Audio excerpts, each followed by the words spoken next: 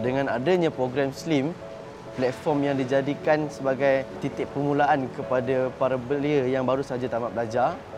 Terima kasih kepada PM kerana memberi peluang kepada kami dan menyediakan kami sebuah tempat untuk mencari pekerjaan dengan lebih efisien dan juga lebih cepat.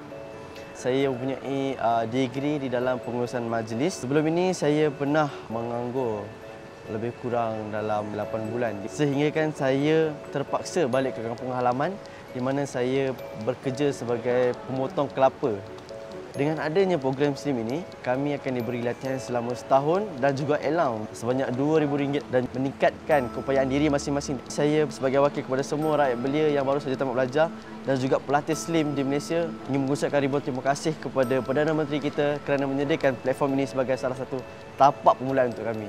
Terima kasih PM.